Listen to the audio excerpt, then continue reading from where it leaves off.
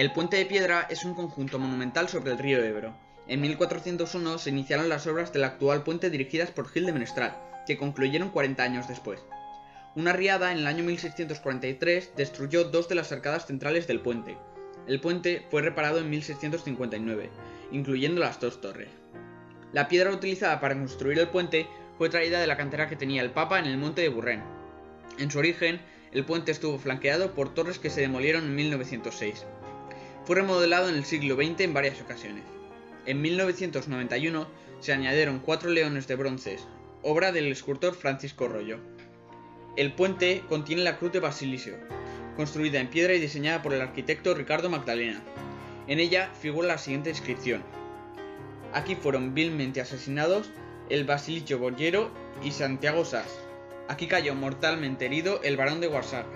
Honor a los héroes y gloria a los mártires. Primer centenario de los sitios de 1808 y 1809. Ya hemos acabado la parte del puente de piedra. Para seguir descubriendo cosas, pulsa en el centro de la pantalla. Ya hemos